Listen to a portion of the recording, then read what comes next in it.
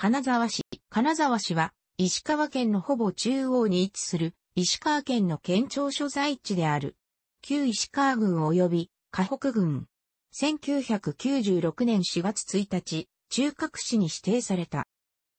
江戸時代には、江戸幕府、約800万石と言われるを除いて、大名中最大の102万5千石の石高を、領した加賀藩、加賀100万石の城下町として栄え、人口規模では、江戸、大阪、京の三都に次ぎ、名古屋と並ぶ大都市であった。第二次世界大戦中にアメリカ軍からの空襲を受けなかったことから、市街地に歴史的風情が今なお残っている。空襲の被害者やその遺族が少ない地域という理由から終戦艦もない頃には国際交流を目的として来日するアメリカ市民の滞在先としても選ばれた。また、長年の都市文化に裏打ちされた数々の伝統工芸、日本三名園の一つとして知られる、剣徳園、加賀藩の藩祖、前田利家の金沢入場にちなんだ百万石祭り、さらに庶民文化、加賀宝章や郷土料理の自分二島などにより、観光都市として知られる。2009年には、ユネスコの創造都市に認定された、国内では、神戸市、名古屋市に続く3番目、クラフトフォークアート部門では、アジア書。また、北陸地方を管轄する国の出先機関や大企業の北陸支社、北陸支店が置かれる場合が多く、政治、金融において、北陸地方の中心的な都市としての機能も担っている。地理区分は、中部地方、北陸地方、北信越地方に属する。石川県内の地理区分では、加賀地方に属する。南東部は山地で奈良岳1644メートル、金沢市の最高峰、西川の水源をはじめ、三越山1621メートル、大門山1572メートル、硫黄山、硫黄山939メートルなどがある。平野に近い部分は丘陵地となり、富室山548メートル、木古山546メートル、野田山180メートル、満願寺山177メートル、宇達山141メートルなどがある。富室山、木古山は数十万年に形成された第四期火山である。山地と平野の境界付近に森本、十勝断層帯が分布する。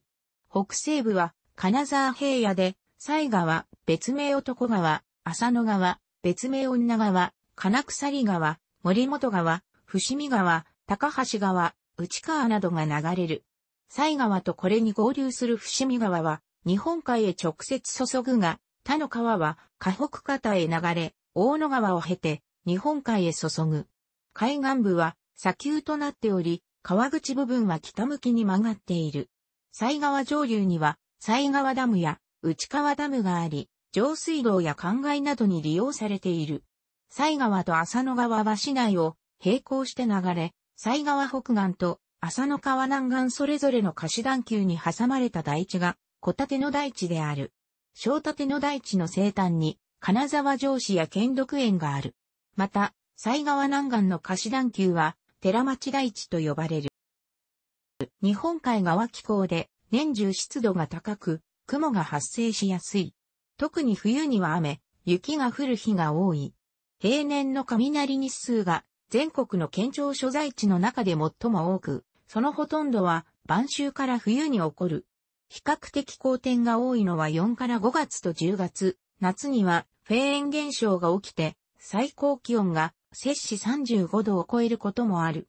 梅雨の影響は太平洋側と比較して少ない。台風が直撃することもあまりない。12月から2月にかけては雪や雨が多い。雷を伴ってあられや氷が降ることもある。1987年以降の暖冬に加え、1991年10月23日に金沢地方気象台が中心部に、放置海弥生地区から海風の影響で気温が高めで雪が積もりにくい。沿岸寄りの西年地区へ移転して、以降、観測される降雪量は急激に減っており、北陸の他都市は、愚か鳥取市よりも積雪量が少なくることが増えた。しかしながら、市の公表している積雪量によると、気象台よりも、県独園のある市内中心部の方が積雪が多く、特に金沢大学のある角間町などの内陸地域などは豪雪となりやす。このように同じ市内であっても、海側と内陸では積雪量が大きく異なっている。降雪の深さ合計は平年で278センチメートルと、全平年値1971から2000年平均の360センチメートルと比べて大きく減少した。気象台移転後の最新積雪記録は2001年1月16日の88センチメートル。なお、金沢地方気象台が現在の場所に移転する前の最新積雪局地は38号雪の1963年1月27日に記録した181センチメートル。最後に積雪が1メートルを超えたのは1986年1月28日の113センチメートルまで遡る。ただし、冬季の気温は曇りや雪の日が多く放射冷却が少ないため、最低気温は高め、1月平均最低気温摂氏0.9度であり、2000年代以降は暖冬傾向であること、また、除雪、融雪の体制が発達していることなどから、冬季の都市生活に支障は少ない。湿度が高いため、伝統工芸の漆塗りや金箔製造に適している。北側に内灘町、津幡町、東側に栗から峠、伊王山などの山地を挟んで、富山県小矢部市、南砺市、南側に白山市、旧松東市、旧剣町、野々市市と接する。金沢という都市名は、昔、山科の地、現、金沢市郊外に住んでいた芋堀東五郎が山芋を洗っていたところ、砂金が出たため、金洗いの沢と呼ばれたという伝説による。金洗いの沢は、県独園内の金沢神社の隣にあり、現在は、金城霊、沢と呼ばれている。古文書における、金沢の初見は、高野山正友院聖教目録に、文明13年10月8日、1481年10月30日、付で記載された、歌集金沢総持寺が知られている。天文15年、1546年。戦国時代の一向一揆で、本願寺の拠点が置かれた小山五坊、金沢五坊と、その周辺の寺内町を起源とする。天正8年、1580年、織田信長配下の柴田勝家の甥、佐久間森政が、小山五坊を攻め落とし、その地に、金沢城を築城した。静ヶ岳の戦い以降、前田利家が、金沢城に入り、加賀藩の原型が形成された。利家は、金沢城を人心の一心、橋場秀吉に敵対した佐久間森政色の一層及び一向一揆に加わっていた新州門徒との融和を意として自身の出身地である尾張国にも通じる小山城と改名するが定着せず、年家の晩年もしくは時代の前田利長の時代には再び金沢城の名前に戻した。城下町には二重の草加前が掘られ、看護都市となり、現在でもその意向を確認することができる。それまで点在していた寺院は一向一揆を防ぐために、金沢城から南西の西川流域、東側の宇津山、南東の小立の大地の3カ所に集められ、それぞれが寺町寺院群、宇津山山六寺院群、小立の寺院群となった。慶長5年、1599年に、利家が死去すると、翌年には、関ヶ原の戦いが起こる。利家の医療を相続した長男の前田利長は、東軍の徳川家康につき、西軍に属した弟の前田利政の所領を戦後に与えられ、加賀国、能登国、越中国を有する大大名となる。第三代藩主、前田利常の時代には、十、村政や、改作法といった農政改革を進め、支配機構の整備が行われ、反体制が確立した。第五代藩主、前田綱則は、名君として名高く、剣独園の前身にあたる連地帝を策定し、木下淳安や室久宗、稲尾若水といった学者の将兵に努め学問を進行した。また後期は、和書や漢書、洋書などの多様な書物の収集にも努め、その書物の豊富さから荒井白石は、香川、天下の書府といったと伝えられている。集められた書物や美術工芸品の収蔵品は、御事教閣文庫と呼ばれ、現在では、前体区徳会により保存管理されている。その後金沢は154年にわたり、加賀百万国の城下町として繁栄することとなる。参勤交代の時、前田氏は約2000人の家来を従え、現在の価値で片道約7億円をかけて江戸との間を往来した。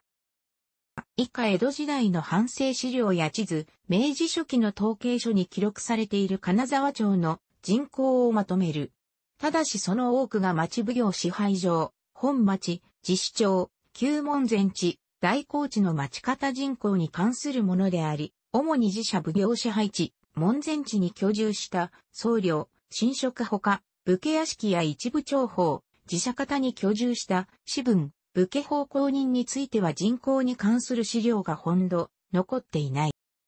今津人志郎書き出し工人数一巻によると、享保6年、1721年の金沢藩の15歳以上の五家中人口は67,302人、おそらく武家奉公人を含む。また、金沢市や藩政一覧によると、明治3年ウルー10月10日の休暇中人口は、家族1個11人、地7797個28,683人、卒9703個27,038人、仲間、小物、平民扱い2699個5938人の。合計20200個61670人。ただし個数は。成人男性数、名数。江戸時代中期以降、金沢城下町に居住する武家、武家方向人人口は4万から5万人で推移したと推測される。以下に2人の研究者による江戸時代明治初期の金沢の推定総人口を列挙する。なお土屋厚尾の推計人口には神社仏閣数と僧侶、新館人口、明治4年2月の時点で298カ所1171人が加算されていい。また斎藤政治が明治11年長として明治11年とも、竹正表より引用している人口は、正確には、明治12年1月1日町のものである。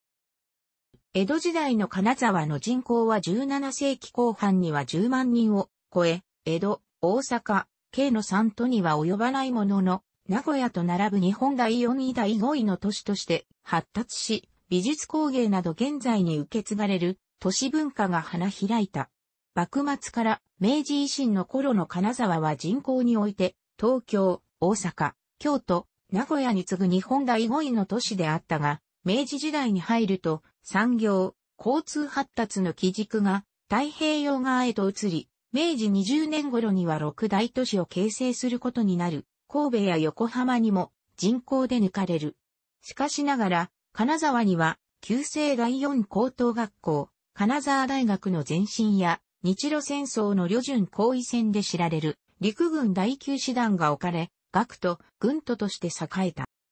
第二次世界大戦中は、機銃奏者など、金沢空襲があったものの大規模空襲を免れ、古い街並みが残った。石川県内では、空襲で60人以上が死傷した。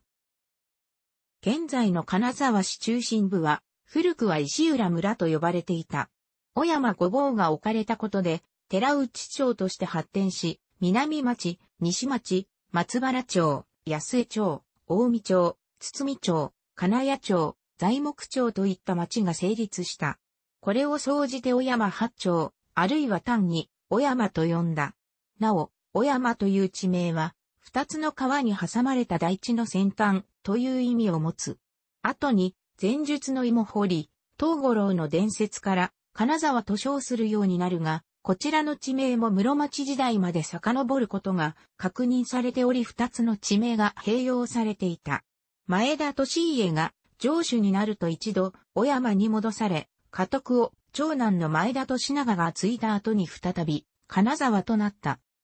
金沢市は、1962年、昭和37年に、住居表示に関する法律の実験都市に指定され、500余りの町名が消滅してしまった。しかし、長年慣れ親しんだ旧町名の復活を望む声が多く、主計庁を皮切りに次々と旧町名が復活した。これを受けて、長崎市など全国へ旧町名復活運動が広がっていった。2017年3月13日現在、姉妹都市の多くは、その地方の中心的都市であったり、歴史的遺産を持つことであるのが特徴的である。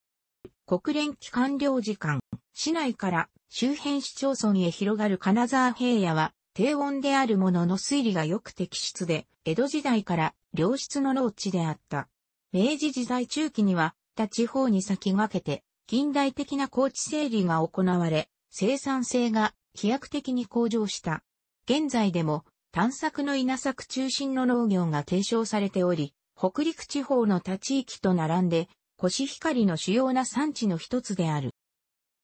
稲作だけでは採算が望めない農地については、小規模でも生産でき付加価値の高い作物、さつまいもやレンコンなどの加賀野菜、梨などの果実の生産に移行する動きが見られる。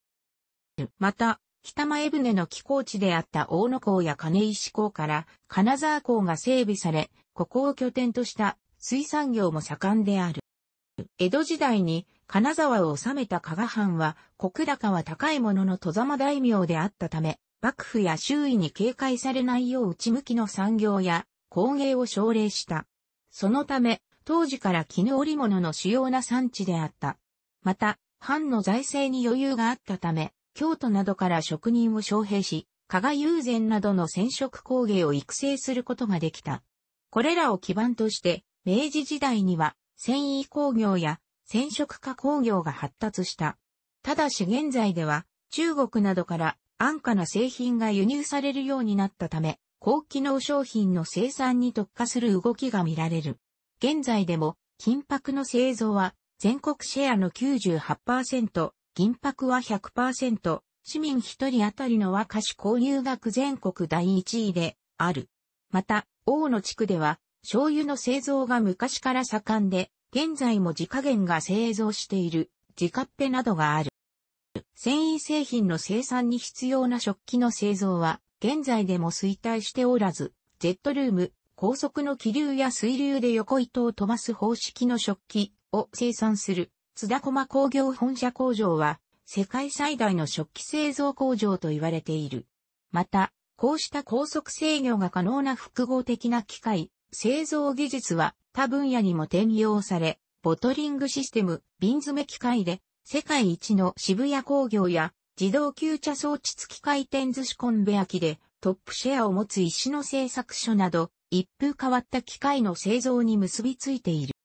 近年では、パソコン周辺機器に関する企業群が急速に成長している。市内で創業したパソコン周辺機器大手の IO データ機器は、当地の小規模な繊維工場では手が届かなかったメインフームではなく、マイコンを利用した工場制御用の周辺機器開発からスタートした企業であり、コンピュータ関連の大手企業が手掛けなかった需要に応えて成長の軌道に乗った。また、織物用の柄を修正するディスプレイ装置の開発といった細かな需要の発掘でも繊維工業が周辺産業へ影響を与えたことが伺える。金沢市は北陸地方では2番目に大きな卸、小売業販売額を上げる商業都市であり、北陸3県に限ると最も多い百貨店、大型ショッピングセンターや多数のブランドショップなどの集積がある。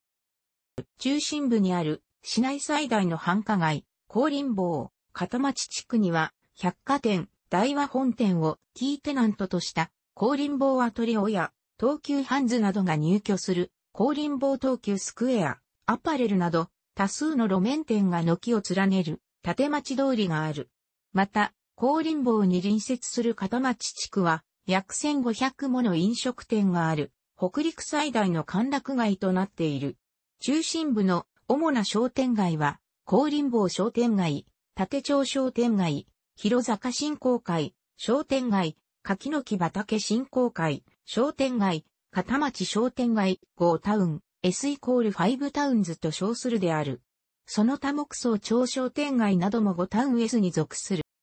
一方、もう一つの繁華街である、武蔵地区には、名古屋鉄道系の百貨店名鉄、エムザと大見町市場がある。中でも大見町市場は、市場独特の風情が味わえることから訪れる観光客も多く、金沢市内の観光地の一つとしても有名。2009年4月16日には、市街地再開発事業により、大見町市場館が開業した。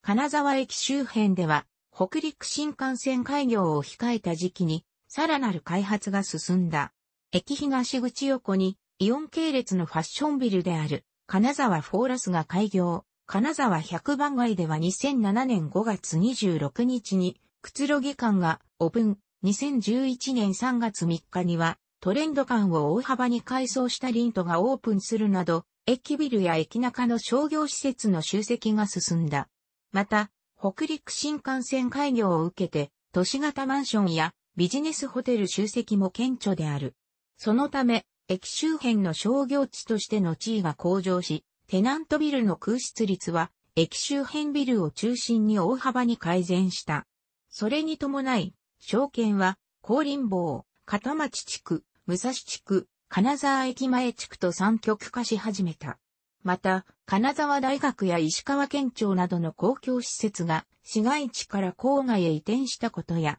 イオンタウン金沢市名のアピタタウン金沢ベイ、ラパーク、金沢、メガドンキホーテなどのショッピング線にや、ロードサイドショップが開業し、国道8号線沿いや山川環状道路及び海側環状道路周辺などの郊外が著しく発展していることから、中心街の空洞化、購買客の流出が懸念されている。また、新たにオープンした富山県小矢部市の三井アウトレットパーク、北陸小矢部、小松市にオープンしたイオンモール新小松などの近郊都市圏の大型商業施設も市内中心部の商業施設の資格となっている。郊外では薬の青木やアルビスといった北陸の地場スーパー、地場ドラッグストアの出店が盛んで集客競争が激しく行われている。金沢市消防局が管轄する。病床数200以上の医療機関のみ記述する。市の中心となる駅、金沢駅、上記の通り、北陸鉄道の両線は連絡していない。石川線は西金沢駅で、浅野川線は金沢駅で JR 線、IR 石川鉄道線に乗り換えできる両 JR 駅間の運賃は180円。なお、北鉄金沢駅は東口地下広場に位置するため、地下に降りると行くことができる。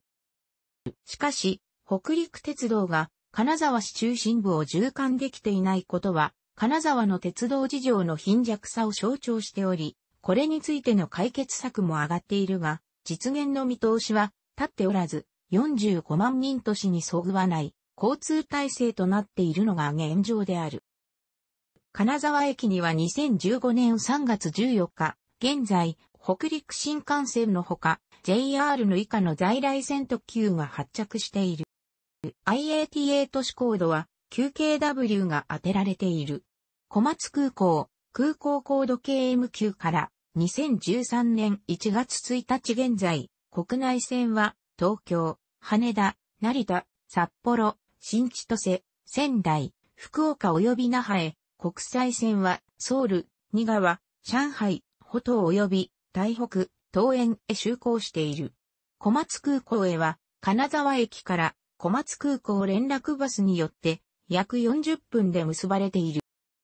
2010年8月20日土曜日から2010年10月20日水曜日に市が社会実験として自転車のレンタルシェアリングが行われた。さらに、2012年3月24日より、正式にサービスを開始。金沢市が実施、運営は株式会社日本海コンサルタントが行っている。これにより、市内をさらに自由に行き来できるようになった。使用料は、初回利用時1日200円、定期利用で毎月1000円、1年で9000円である。延滞料金として30分超えるたびに200円かかる。30分以内は初回利用時以外無料である。支払いは現金、もしくはお財布携帯、交通系、IC カードで支払うことができる。ポートは市街地を中心に全19カ所ある。詳しくは街乗りを参照。金沢市街地は、加賀前田藩の城下町として栄えた歴史があり、初代藩主、前田利家は、甲州流兵学に基づいて城下に敵が攻め込まり、にくいように、他の城下町以上に道に曲がり角を多数設けた設計がされた。市内の道路は、道が入り組んでいて、わかりにくいという指摘があるが、これは金沢が繊細に合わなかったこともあって、半世時代の区画がそのまま残されて、今の道路に引き継がれてい、名残である。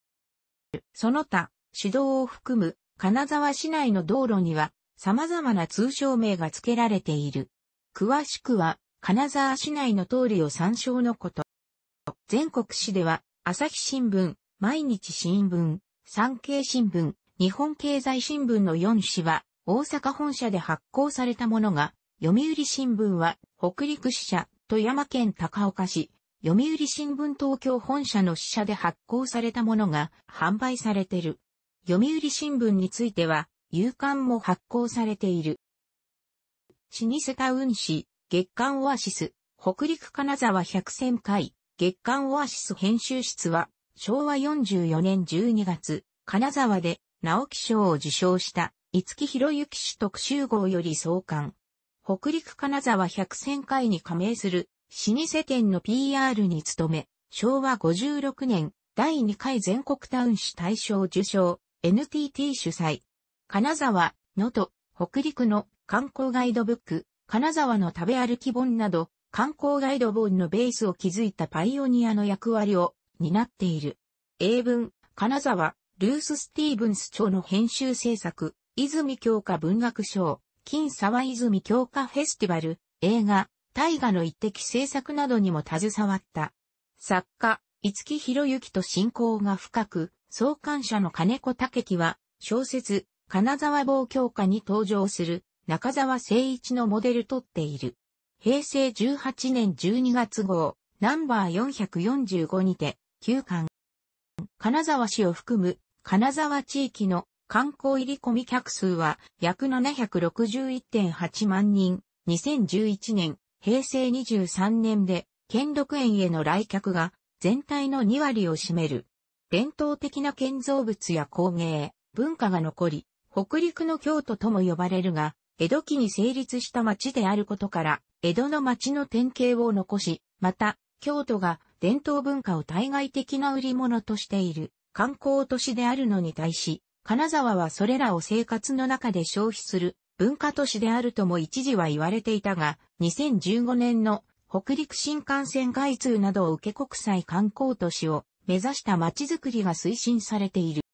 江戸時代に金沢城の庭園として作られた兼六園は、水戸の偕楽園、岡山の後楽園とともに日本三名園とされる。名称、兼六の由来は、壮大の落葉名園記が指摘する、庭園にとって両立しがたい6つの特性、広大と湧水、人力と倉庫、水泉と眺望を兼ね備えていることによる。この県六園から百軒堀を隔てた。金沢城跡には、当時の建造物のうち一部である。石川門や三十軒長屋などが現存している。この跡地には、城の中の大学として、金沢大学のキャンパスがあったが、郊外、角間へ移転した。その後一部の櫓が、当時の技術のままに復元され、一般に公開されている。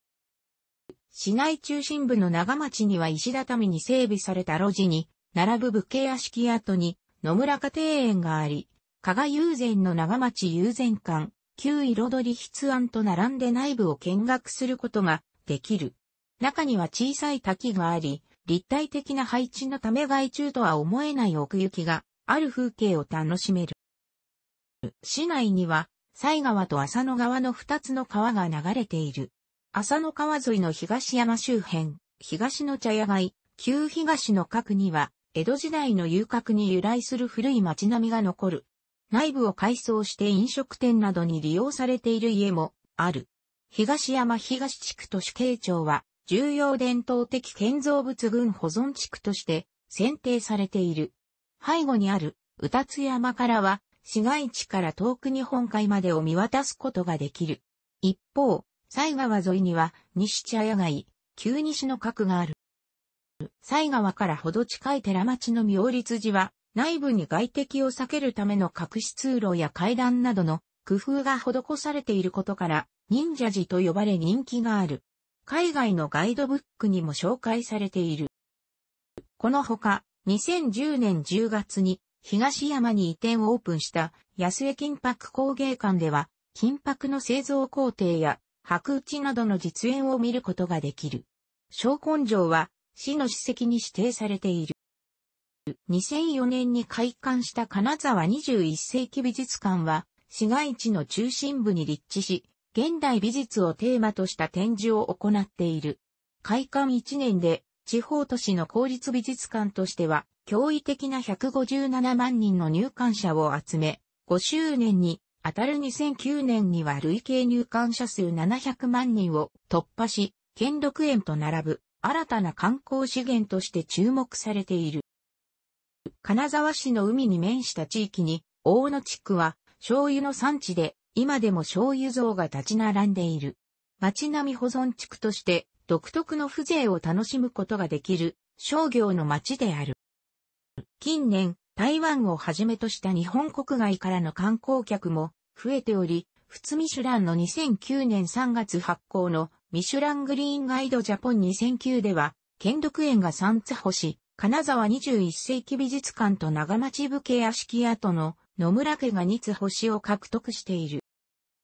金沢百万国祭りが有名。毎年6月に前田利家の金沢入場を模した行列が街の中を練り歩く。利家役には男性有名人が選ばれている。友禅灯籠流しや百万国踊り流しなどの協賛、関連行事も多く催される。悠々地区では毎年6月30日に氷室開きと呼ばれる半世紀より伝わる伝統行事が行われる。イベントでは毎年2月初旬に石川県中央公園で行われるフードピア金沢、毎年5月初旬にクラシック音楽祭の学と石川風と緑の音楽祭、キューラーホルジュルネ金沢、8月には、高林坊から武蔵が、辻が、歩行者天国となる、金沢夢街道が開催される。市内には、神社が330余り、仏教寺院が390余りある。仏教寺院を宗派別に見ると、多宗派が17世紀からほぼ横ばいなのに対して、浄土真宗の寺院のみが3倍余りに増加し、寺院全体の半数を超える210寺が立つ。そのうちの192寺が、新宗大家派である。金沢では、加賀藩が酒子作りを奨励したため高度な菓子文化が育まれ、京都市や松江市などと並ぶ日本産大菓子どころとして知られてきた。正月に食べる福梅、辻浦や初夏に食べる表室饅頭、婚姻の際に振る舞われる五色製菓子や金貨等などのいわゆる縁起菓子は菓子文化の成果の一つと言えよう。市内には今でも森八、諸江屋、田原屋、最終小出、村上といった和菓子の老舗が至るところにある。特に森八で作られている長生殿は日本三名家の一つである。金沢市では数多くの伝統産業が継承されている。楽しくご覧になりましたら購読と良いです。クリックしてください。